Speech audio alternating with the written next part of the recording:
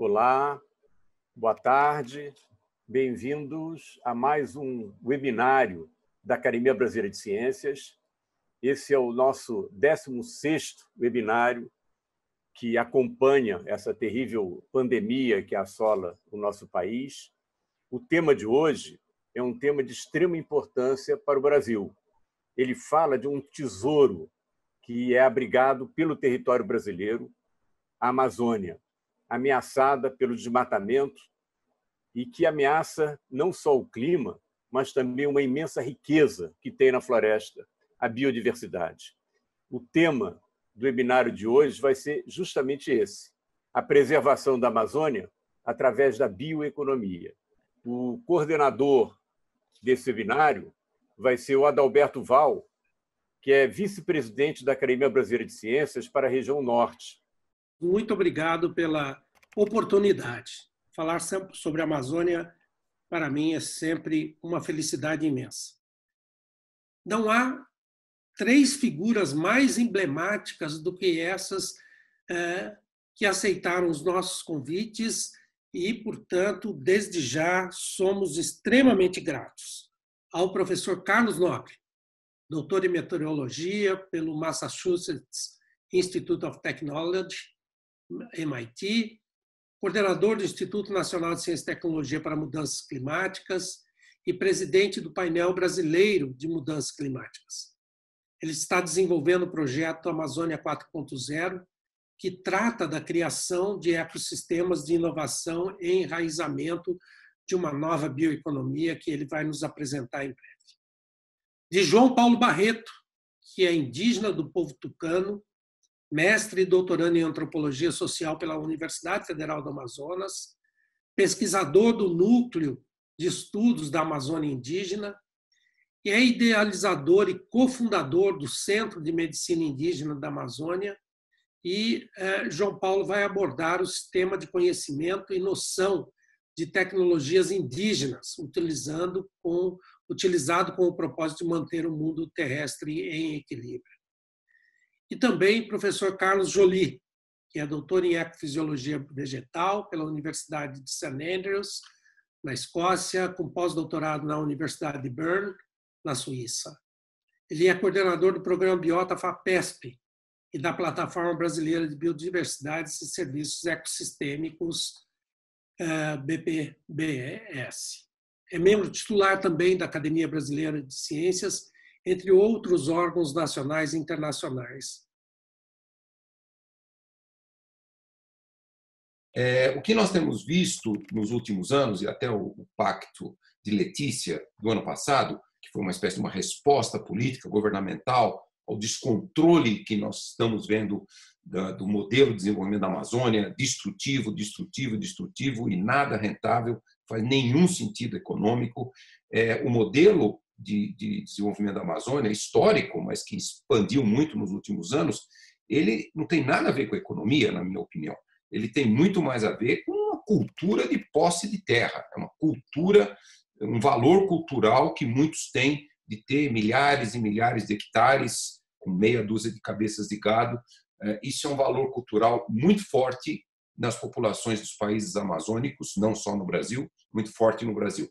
Então, nós precisamos realmente mudar o valor cultural. Então, quer dizer, realmente nós estamos indo é, para a beira do precipício. Então, é muito importante essa mudança, não só econômica, mas é uma mudança de valor. Nós não podemos mais é, apoiar um modelo que não vê valor nenhum hum, socioeconômico, biológico, cultural, espiritual para os indígenas na, na, na imensa floresta amazônica. Sem ciência, e sem conhecimentos tradicionais não há bioeconomia.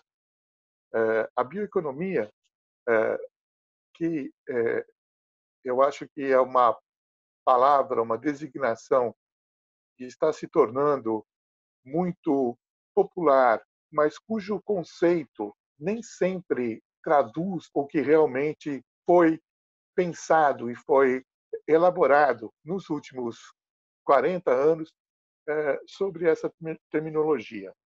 A bioeconomia não é simplesmente transportarmos o nosso modelo forte de investimento que exige um retorno rápido e que é medido pelos economistas com estatísticas oficiais de eh, empregos gerados, eh, empresas abertas, número eh, impostos recolhidos, mas sim eh, como que a gente coloca as questões de qualidade de vida e desenvolvimento social e bem-estar nessa uh, equação. Eu acho que é, adotar conceitos de sustentabilidade socioambiental é absolutamente fundamental é, para que, de fato, a gente tenha uma bioeconomia. Uma bioeconomia é, que vai é, envolver as tradições, a cultura é, regional, que vai envolver é, os povos amazônicos, e eles não sejam simplesmente é, espectadores de uma novidade que se traz em termos de estabelecermos cadeias produtivas sem o envolvimento desse conhecimento tradicional que é fundamental. Uma coisa é eu ser obrigado a negar meus conhecimentos para absorver outros conhecimentos. O que tem acontecido com a gente é isso. Né? Agora, na medida que a gente começa a dialogar simetricamente, insisto nisso, teremos sim, mas impacto bem mais coerente.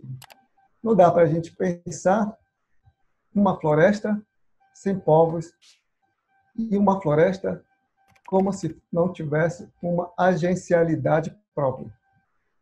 Daí, eu quero dizer que os povos indígenas têm uma concepção de que todas as coisas têm sua agencialidade.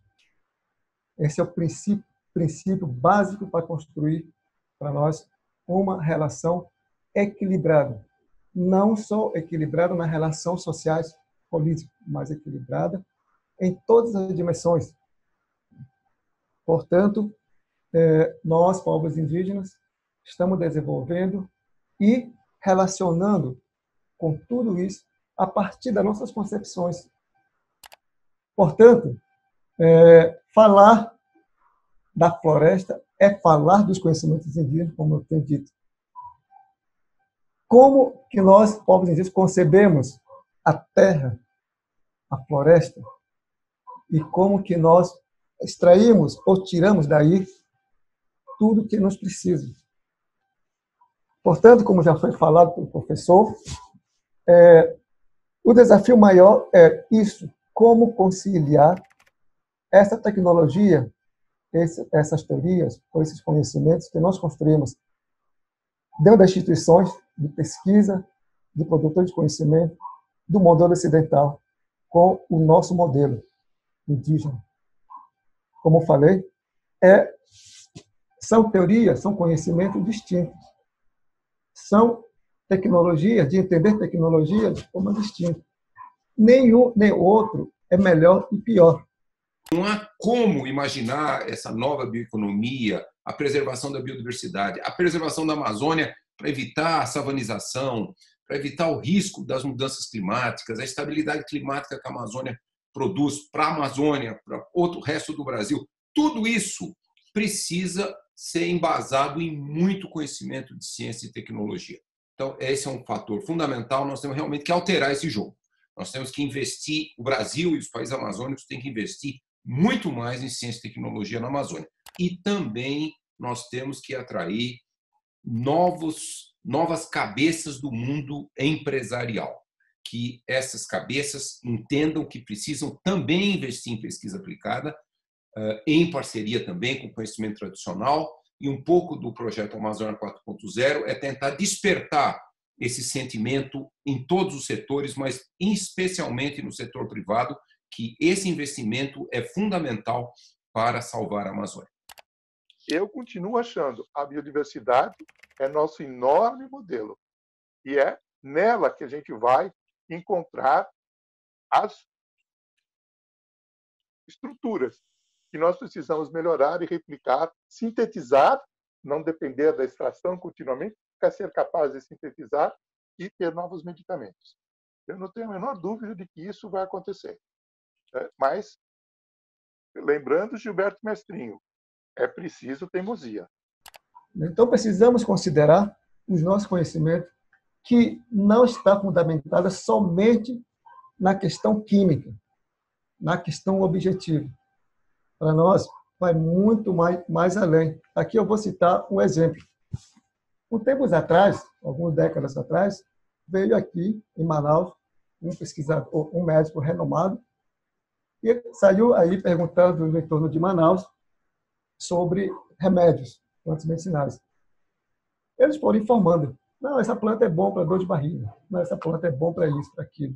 Ele levou para o laboratório e fez todos é, é, trabalho de análise química. E foi dizendo, oh, os índios disseram isso, mas não tem nada sido ativo aqui. Não tem nada de substância que cure. Ah, os índios falaram isso. É claro. O modo de a gente fazer, produzir remédio, não está no laboratório. Para produzir um remédio, né, que apelidaram de garrafada, né, não é pegar e ali pegando quimicamente, misturando, extraindo princípios curativos. Não. Envolve uma especialidade avançada e conhecimento tecnológico sofisticadíssimo, que começa com o corpo. A pessoa que vai produzir remédio X, primeiro tem que passar por uma dieta. Abstenção sexual, o horário, a mistura, o tempo? A dieta, como falei, todo esse conjunto de comportamento produz um remédio. Por isso, precisamos de tecnologia sim. Uma tecnologia que seja capaz de dialogar com essas diferenças de compreensão. É, e dizer que nós estamos prontos para dialogar que nós estamos abertos para dialogar, desde que seja simetricamente, porque nós temos conceitos, nós temos, como falei, 13 mil anos, estamos manejando. A química consegue sintetizar tudo, quase tudo. Né?